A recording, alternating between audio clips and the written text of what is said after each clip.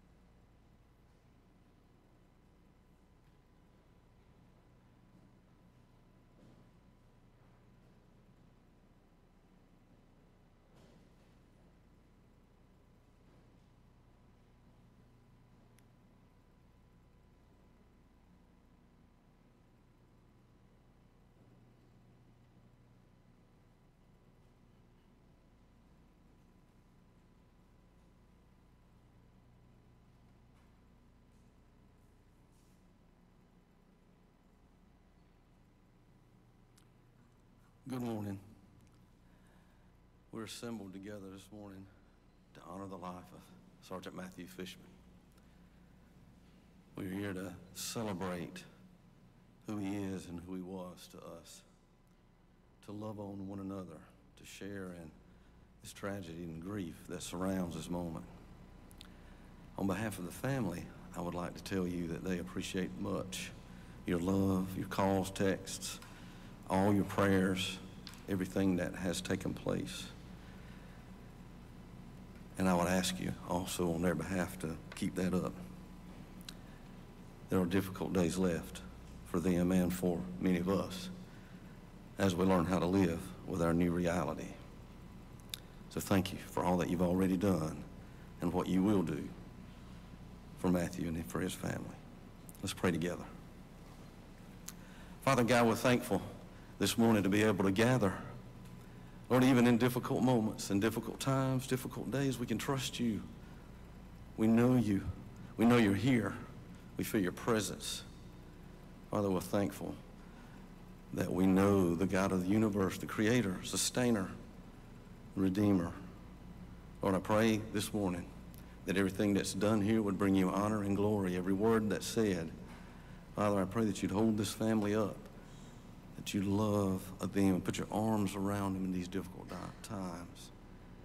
And Lord, we pray, Father, that you'd be glorified. It's in Jesus' name that we pray. Amen.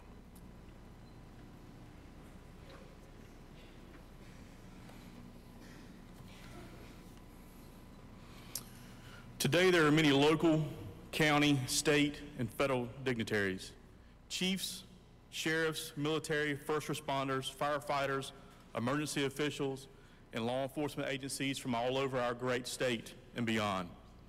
Thank you for this amazing show of support. But today we are here to honor the service and sacrifice of Sergeant Matthew Fishman. One flag, one nation, all heroes. Shortly after the tragic terror attacks on September the 11th, 2001, an American flag flew over ground zero above the rubble of was, what was once the World Trade Center. A decision was made. This one flag should continue to fly from that day on in support of all American heroes everywhere. This one red, white, and blue flag would become a symbol of service and sacrifice to our nation whether it's in the deserts of Iraq or small communities like here in Wayne County. This one special flag arrives to honor those soldiers, police, and firefighters who made the ultimate sacrifice in the line of duty. Today, the Honor Network has escorted this one flag, the United States Honor Flag, here to honor our fallen hero, Sergeant Matthew Ray Fishman. At the end of today's service, the United States Honor Flag will be carried by Staff Sergeant Matthew Graham, United States Marine Corps. One flag, one nation, all heroes. God bless.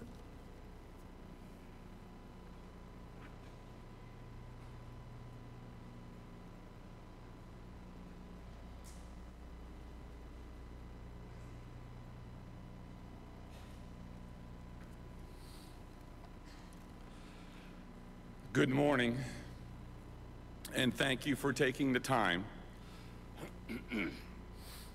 to come here today as we celebrate the life of my son, Matthew Ryan Fishman. Matthew, his name means gift of God, and that he is to our family. And from what I've been hearing and reading, he is that to many others in our community. I shared in a post last week of going through the worst 24 hours of my life. Today makes this the worst week of my life. However, during this time, we have been watched over, we have been cared for, we have been fed, we have been loved, and we have been prayed for in ways we have never imagined. Thank you for the many so very many acts of kindness, generosity, and love that you have shared with us. I want to tell you a little bit about our Matthew because I believe he belongs to more than just the Fishman family. He is the second of three sons, the middle child who could warm your heart as well as test your nerves. From a young age, he went about proving nothing was too difficult, too complicated, or too anything that he couldn't overcome it. When Matthew set his mind to something, somehow, some way, it was going to get done. He has a knack for figuring things out. It might not happen the first or even the second time, but he would find a way. For instance, one day, not long after they bought and moved into their new home, Matthew called me to ask about coming to help him cut down a tree. And I told him, I said, I've never done that before. He said, No worries. I've watched it on YouTube. It'll be easy. By the time I got to his home, the first of many trees had already been on the ground. In fact, he had learned much about home repair and improvements. Matthew learned to do many things on his own, saving lots of money as he did whatever he needed to be done. He wasn't going to pay something or someone else for something that he could do on his own. There was even a time when I was helping him put up rain gutters on the house, something he learned on YouTube. All the while next door at my house, I was paying a professional to do it. I don't know if that speaks more of my ignorance or his confidence. Either way, he wasn't afraid to tackle any job at home or at work. That's one of the reasons he always included at the closing out of his emails the words of David from Psalm 23, which says, The Lord is my shepherd, I shall not be in want. He makes me lie down in green pastures. He leads me beside quiet waters. He restores my soul. He guides me in the paths of righteousness for his name's sake. Even though I walk through the valley of the shadow of death, I will fear no evil, for you are with me. Your rod and your staff, they comfort me. Matthew worked hard for the things he has. He wasn't born with the proverbial silver spoon in his mouth. He has a silver tongue, but that's another story. In high school, he wanted to go with some classmates on a trip to Florida. They were the Junior Air Force ROTC. Well, he signed up, he got accepted, and he did everything he needed to do in a shortened amount of time to be able to join his friends on that trip, and he had a blast. He ran cross country and played soccer in high school, realizing he was the runt of our litter. He chose things where size doesn't matter. He proved himself and found a way to excel. Even getting into law enforcement was not easy. He took the basic law enforcement training at Wayne Community College. He did well and he passed. However, his early driving record was not a desirable attribute. He didn't give up, though. He got to know some of the people in the police department at Mount Olive. He did some ride alongs, and again, he proved himself to be more than capable. Matthew is one who is more impressive in person than he is on paper. And for that reason, my greatest fear today is that I've written this and read it to you, and that I don't adequately share and honor my son in sharing these stories with you. Matthew knows what's important. As a boy, Matthew accepted Jesus Christ as his Savior and Lord, and I was privileged to lead him in that and also baptize him. Years later, as a teenager, I made him go on a mission trip with us to Florida. He didn't want to go. He fought tooth and nail, but he went nonetheless. But by the fourth night, as we gathered for worship after our work of the day, during the worship service, there was an altar call given for commitments and recommitments. Matthew got up from where he was and came running back to me where I was standing at the back of the auditorium, gave me a bear hug, and thanked me for making him come there. Matthew is a compassionate soul. As a boy, even into his late teens and early 20s, he would find strays and want to bring them home. He did not, he did not like to see people suffer, so he'd reach out to help. Many times he'd bring friends to our home who needed some love and attention and prayer and friendship. Last Monday, before the incident that took his life, he called to offer he and his family to paint for an elderly woman her fence, one that she could not afford to pay anybody or nor could she do it herself. After the news of his death got out, message after message after message after message was posted describing how Matthew has helped them in some way. He is a giver and not a taker. Matthew did what he did because he genuinely cares for others. He is passionate about his job, being a Wayne County Sheriff's Deputy. He is passionate about his family. He is passionate about his faith. Matthew loves his family, blood and blue. Sarah,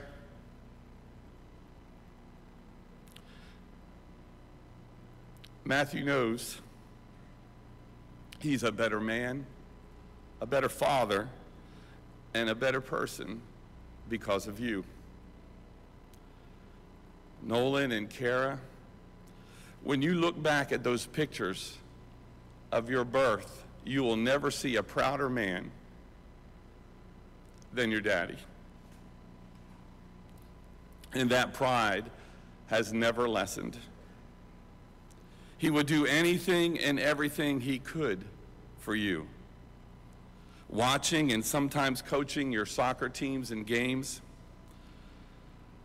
playing kickball in the yard, jumping and bouncing at the trampoline park, camping at the beach, taking the time to teach Nolan how to weed eat and mow, building desks for the family to use in their home. I mean, there's not a room in their home where Matthew hasn't built something or fixed something or made some kind of change just to make it your own. He recently built a little oasis for Sarah to relax and unwind. Sarah, he loves treating you like a lady by opening the door and getting the chair for you. And Kara, he loves and marvels at your creativeness and how deeply thoughtful you are. And he looked forward to those daddy daughter dates with you. And Nolan, he loves and admires your insight into how things work. Doing origami or those Rubik's Cubes or even the computer and programming. Memories of Matthew and his spirit will live forever in your lives as well as the lives of the rest of us. Always remember, he loves you and he's getting things ready in our heavenly home. Now, it depends on who you ask as to who Matthew favors Stacy, his mama, or me. And I'd say he's a pretty good mix between the two of us. His weird sense of humor and sarcasm, you can blame me for that.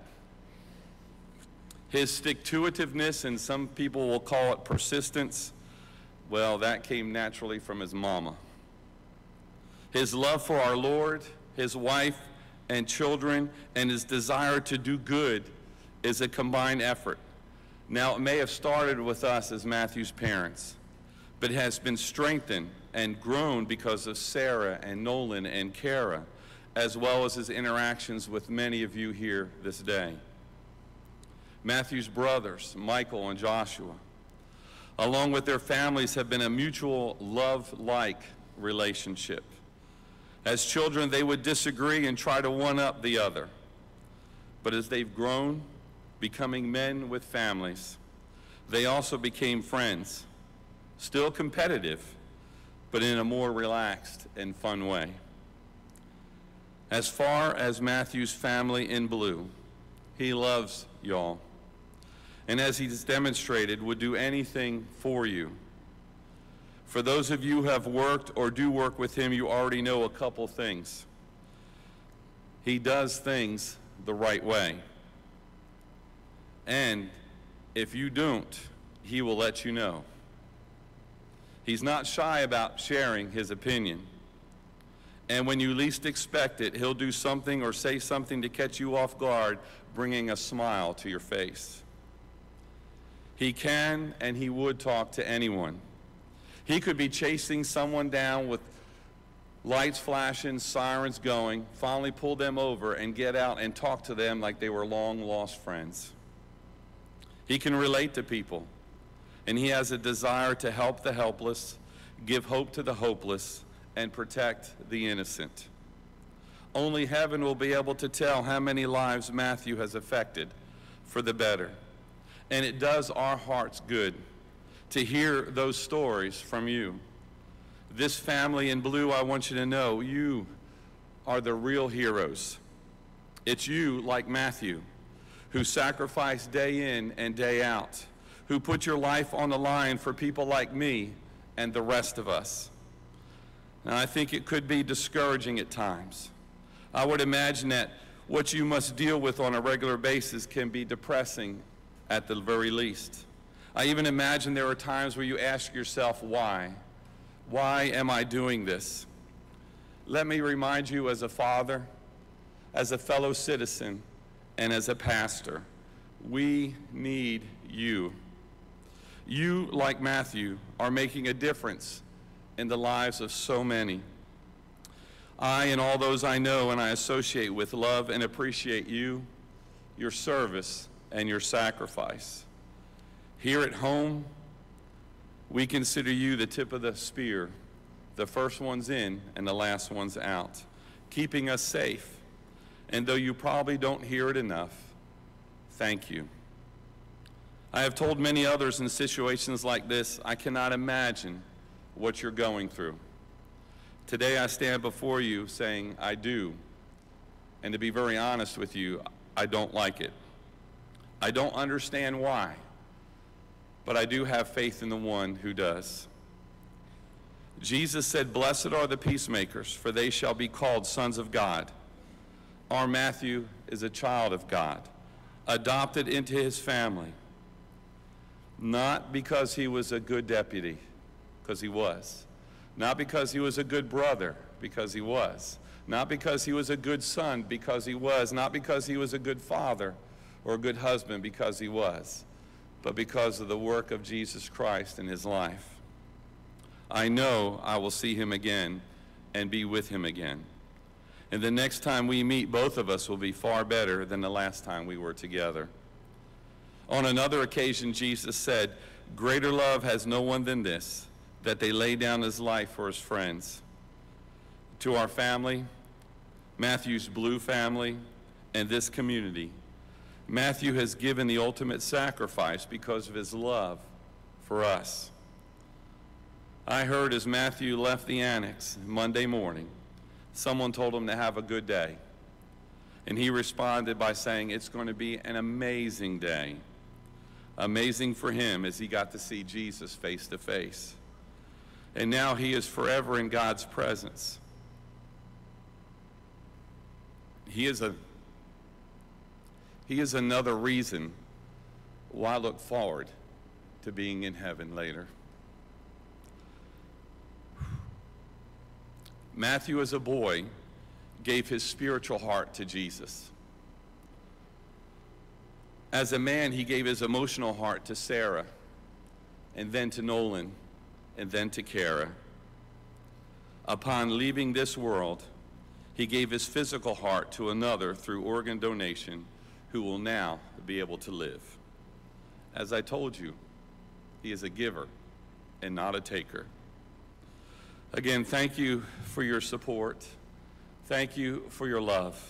Thank you for your kindness, your generosity, and especially your prayers. God bless you. Real good.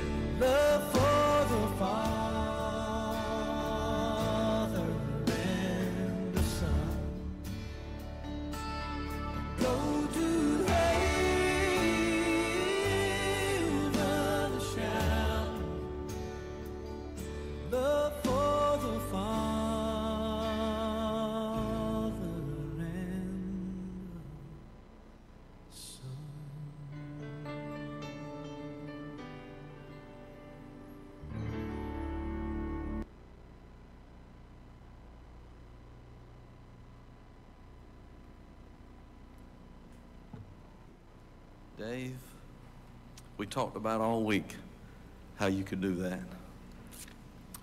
And I just stand in awe of God's power in you today. Wow. I've had the privilege of knowing Matthew for, I don't know how many years, to be honest. I've tried for the last several days to figure it out, but for several years. In that time, I've been able to worship with him and his family, been able to walk through some good times and not so good times to laugh and have fun together.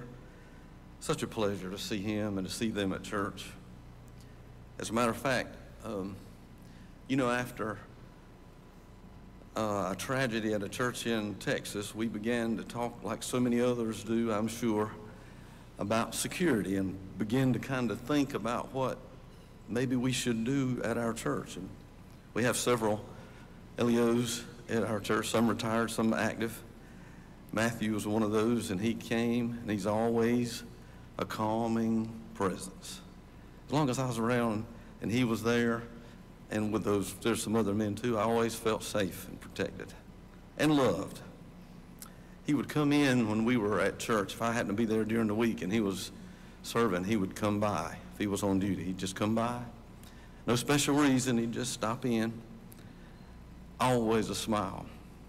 As a matter of fact, he showed me a little video I told you about that, that he took on his own home security cameras uh, of him taking a little spill as he drove into the driveway on his motorcycle just a few days ago. We talk about motorcycles a lot, because we both love them. He'd just come in to visit, though, and spread his love, just spread his joy. He'd come by and do anything he could. He was available to us. We called or text, he'd call right back. He'd either pick up most of the time. And most, if he would call, he'd call back. He'd say, well, I'm sorry, I had, it took a few minutes. I was somewhere on a call.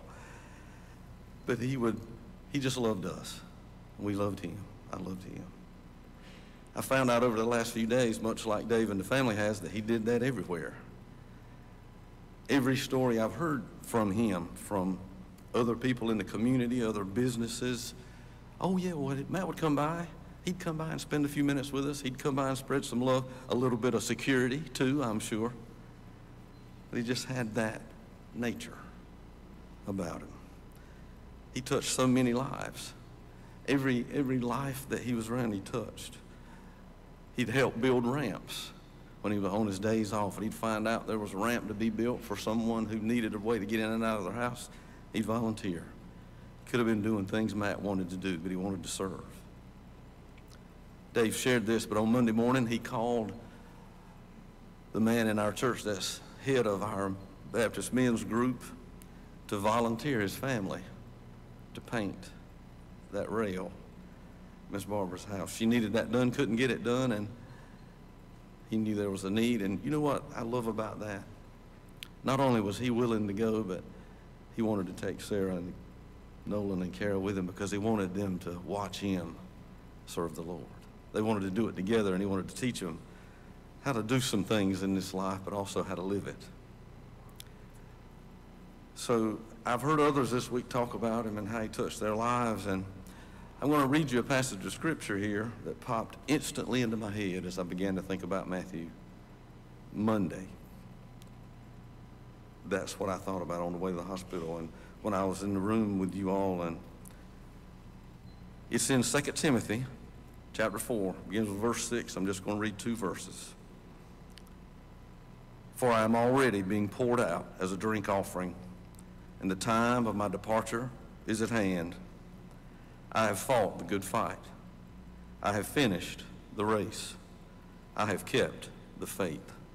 Finally, there is laid up for me the crown of righteousness, which the Lord, the righteous judge, will give to me on that day, and not to me only, but also to all who have loved his appearing. And as I, I thought about that because having heard all those stories and having know, known my experience with Matthew, that's exactly what he did. He loved his family and his LEO family, and he loved this place and this community so much so he was willing to pour his very life out. Now, it was a little different, I'm sure, than he or any of us thought it might be poured out a little over a week ago. But nevertheless, he was right there to do it and would have not had it any other way. He was that man who ran to the danger in order to get between us. He allowed us to go to sleep at night, and you all do the same thing, to lay down our head to rest at night because you are pouring your life out just like that. And I'm thankful for him and I'm thankful for you. And Matt poured his life out. So many of us have been blessed by him, by his presence, his help, his smile. One of the things I enjoyed about those pictures that were scrolling was every one of them except one. I think he was serious in one, one picture that he had his uniform on. Every other one, it was that grin that was just so beautiful, so genuine. He gave because he wanted to. He gave because he had to. He had it in him to give. He had wanted to be an officer since he was a little boy. What a precious picture of him as a little boy, dressed up. And I'm sure his imagination took him many places as that little boy. But he did what it took to get to, to, to see his dream come true. And so he poured his life out then that way. And this passage describes him very well, but it, it offers much comfort today. We've already heard his father eloquently tell us and give us some peace about the fact that Matthew accepted Christ as a young boy, rededicated his life as a young man. And I watched him. We had the privilege at our church to watch him serve him as a man, as a father, as a husband. He accepted Christ as his Savior, and this text fits him when it says he's poured his life out. The first statement here in the next verse says, I have fought a good fight. He was a force for good in this community in so many ways. Now, certainly, as a law enforcement officer, he absolutely was. But he was a force for good in every other way. In those emails you described, put in the Word of God in there, letting people know who he was and who he served and where his loyalties lay. He stood on the side of right, on the side of his Savior, Jesus Christ, on the side of right in our community. He defended us. Again, he kept us safe. And he also fought a fight of faith. Because any of you that know Jesus Christ as your Savior know that it's a fight. We're in a fight in this world today. He worshiped and he served the Lord and he led his family to do the same. So it's absolutely right today to say that he fought a good fight. Verse 7 in that text says, I have finished the race. Several times in Scripture, the Apostle Paul, who also wrote this text, describes his life as a race, the life that we live as a race. And you something about a race is that there's a beginning and there's an end. Scripture tells us, God tells us through his word, that our days are numbered, that he knows us in the womb prior to our birth, and he numbers our days.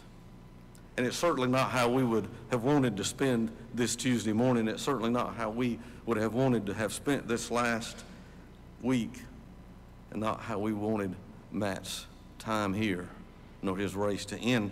We wouldn't have planned it that way, but Almighty God is on the throne today, just like he was that day, and he was not surprised then, and he's not surprised now. He called Matthew out Matthew said yes, he served him with everything he had as long as God gave him breath here. And when it was time, he stepped into the presence of his Lord. And so there's comfort in that today. See, Matt believed in an almighty Father. He believed in his son, Jesus Christ. He served him. And he believed, as the scripture tells us, that God had a plan for his life. God has got a plan for your life and mine too. Even when we don't understand it, even when we've got questions, and I want to just tell you, as a, as a father, and as a husband, as a man, as a pastor, one question that I don't like is any question for that matter that I can't answer, but the one that says, why did this have to be? Sometimes it seems a little bit inadequate. I'm sorry to say that. I hope the Lord will forgive me for me to say God is in control and his, it's His plan. But I'm going to tell you, that's not an inadequate statement. That's the truth straight from the Scripture. Matthew believed in God. Matthew served Him. And yes, we can't believe, understand it and make sense of it this morning. But God loves Matthew. God knows Matthew. And God promised him that he numbered his days. He'll do you the same way. So Matt finished his race. It would be very easy for us today to stand here. It's probably been said, as a matter of fact, to be honest with you, I've probably said it. What a waste. But Matt didn't waste his life. Matt lived it like his Savior would have had him to live it. He was that man. I can attest, I watched him live it. And when it got his time, God called him home. The next statement that Paul makes there is, I have kept the faith. It's amazing as we go through this how much this fits Matt's life. He kept his faith. I said earlier that we're in a war. The scripture describes that. We're in a, a spiritual battle in this place. Don't talk much in the public sector today, I'm afraid, about evil, but evil's everywhere you look. God tells us that's going to be. He says that we, as his believers, as his followers, that we are in that battle and we are to fight that fight. Matthew did that. So many of you in here today can understand how just how hard it is to fight that fight on a daily basis how hard it must be in your position and in Matt's, the position that he occupied.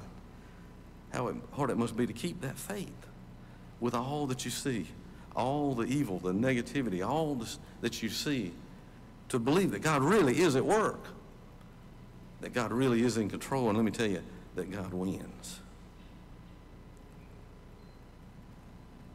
When you see all that you see in your line of work, it would be very easy to become skeptical and cynical and to look at people by what they might do rather than who God created them to be, but I just didn't see any of that in Matthew.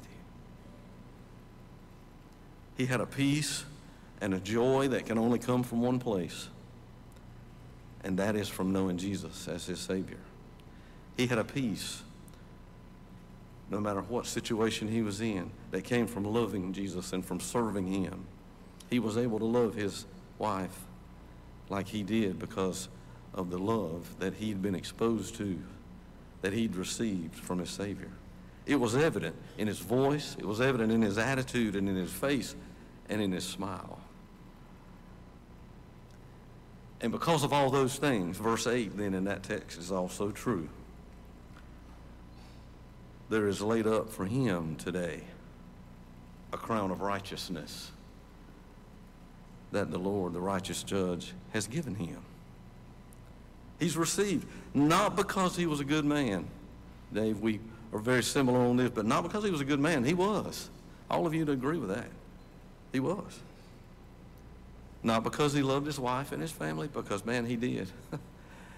he wanted, he loved them, he did for them, and he was teaching them how to live. But that's not the reason that God had a crown for him. Not because he went to church, but I can tell you he went.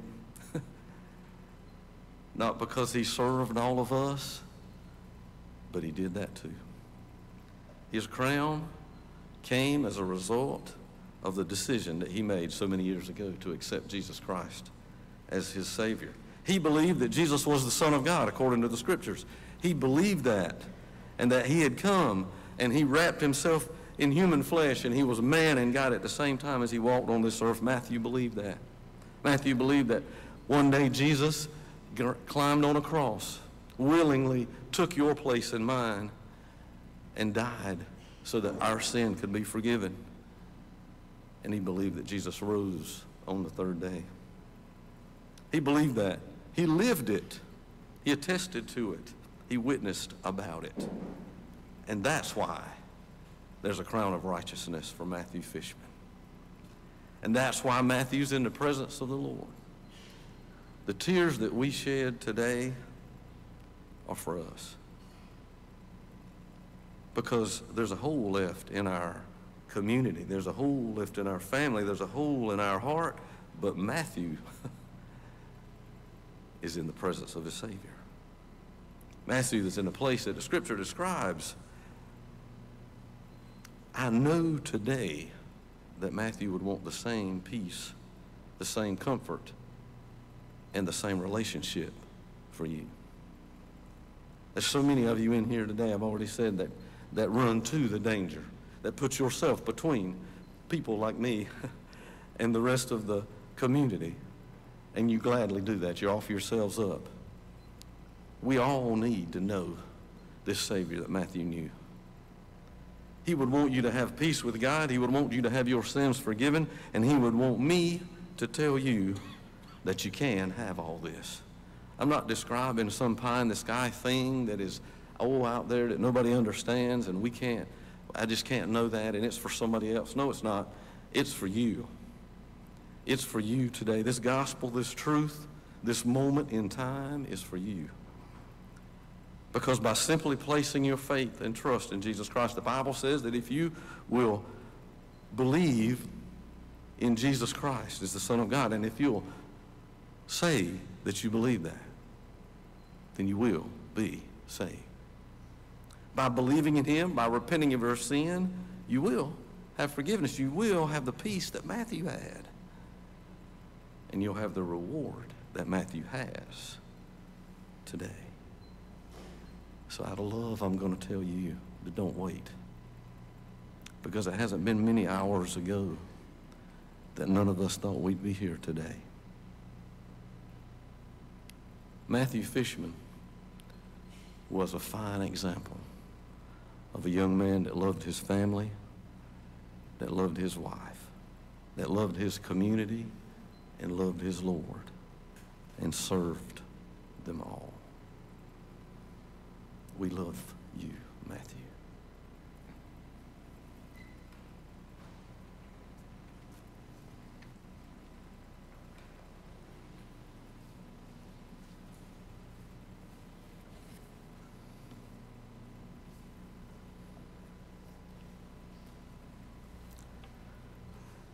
Good morning. On behalf of the Wayne County Sheriff's Office, I would like to thank you for your attendance here today for this memorial service. And for those of you who have shown so much outpouring of love and support, not only for the Fishman family, but for the office of the Wayne County Sheriff. It's hard to express in words my appreciation for all the assistance that my office has received. It is just amazing, and I thank you for that. Matthew Ryan Fishman was a dependable, loving, giving man. He was a good person, and he was a fine law enforcement officer. Matt would always end his emails and his daily reports with a Bible verse, and that was so uplifting for us all. But you know, that was just the person Matt was. From an early age, Matt, just like myself, wanted to be a law enforcement officer. And as he grew older, that yearning never ceased. He received his first badge from the Mount Olive Police Department, where he served with honor and respect as a full-time officer. In 2010, Sheriff Carey Winder swore him in as a reserve deputy. And in 2012, Matt moved to be a full-time deputy under Sheriff Winders. In 2014, I swore Matt in to serve as a deputy in my administration. Matt quickly moved up the ranks, first as a patrol shift corporal and then as a sergeant over his own shift.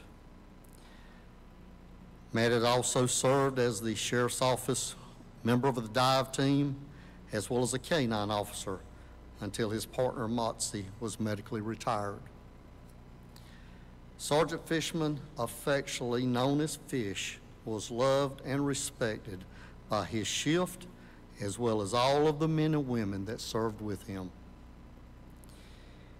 Everyone knew Sergeant Fishman for that big smile and calming personality. Sergeant Fishman took his job seriously and he did it well. He was committed to his people and everyone on the sheriff's office. I liken Matt's commitment to a marriage. When two people take a vow of marriage, they commit themselves to love and cherish one another. When Sergeant Fishman took his oath to become a deputy sheriff, he made a commitment to protect and to serve the citizens of this county and the men and women that would serve with him. He became part of a family, a brotherhood that is sometimes hard to understand from those from the outside. Last Monday, Sergeant Fishman proved to everyone that he would not let his people down. Sergeant Fishman stood on that thin blue line between good and evil, and he paid the ultimate sacrifice. There are no words that I can say to take away all of our pain today, but I know that Matt knew his Lord and Savior, and today he sits at the feet of Jesus. Sarah, and to all the Fishman family, you can know that we love you and that you will always be part of our family at the Wayne County Sheriff's Office. Today, following the last call, I'm ordering the permanent retirement of car number 5242 in honor of Sergeant Matthew Ryan Fishman, a true hero and a true law enforcement officer. Sergeant Fishman, rest easy, my brother. Rest easy.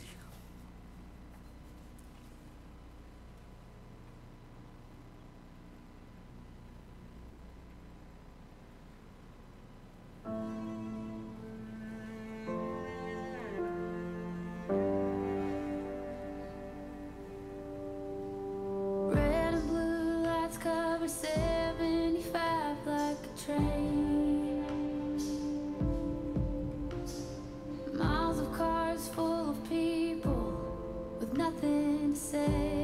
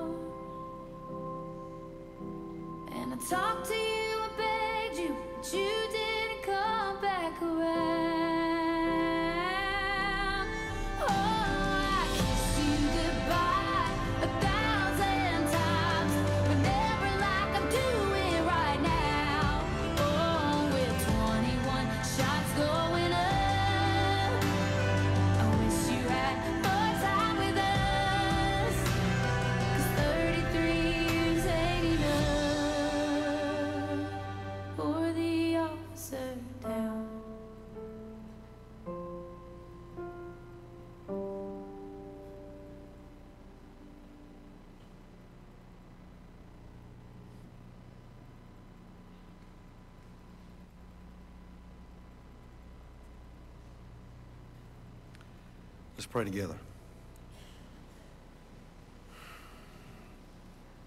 Father God, we come to you this morning crying out, Father, for strength and peace. Father, for you to do what only you can do in our midst today. Lord, I pray, Father, that you would speak to this family. Lord, I pray that you would hold them close, that they'd feel your presence. Lord, I pray, Father, that it, we would be able to see you at work in this family and in this community. And Father, I just ask you to do through your Holy Spirit and give the strength and the peace that comes straight from above. Father, we thank you for the sacrifice of our brother and for those so many who stand that thin blue line. We thank you for all of them and for all they do. Lord, we just ask you to protect them in Jesus' name. Amen.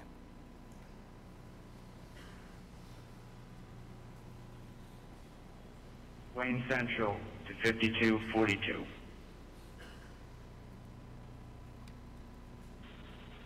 Wayne Central to 5242.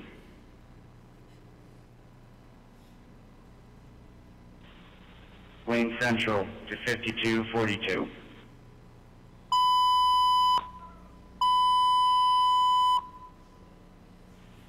All units be advised that 5242 Sergeant Matthew Fishman is 1042 for the final time. On behalf of the Wayne County Sheriff's Office, we would like to thank you for your dedicated service to the citizens of Wayne County. You will be greatly missed. May you rest in peace.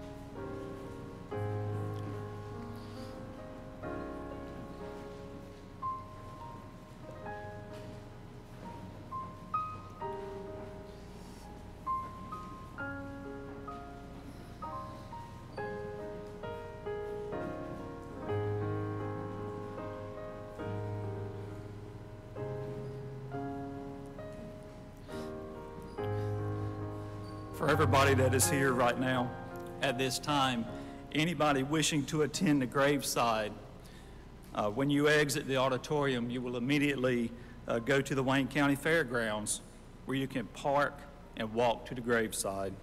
There have been accommodations made um, to the rear of the funeral home uh, for walking traffic to access to the graveside, so you'll park at the uh, Wayne County Fairgrounds. If you prefer to line the route to the cemetery, you are welcome to exit and proceed to Highway 117, where you will line up on the right-hand side of the highway. North Carolina Highway Patrol will be present to assist and ensure the route remains clear. After everyone has exited, the Fishman family, along with the Wayne County Sheriff's Office, will then proceed to the graveside for the committal.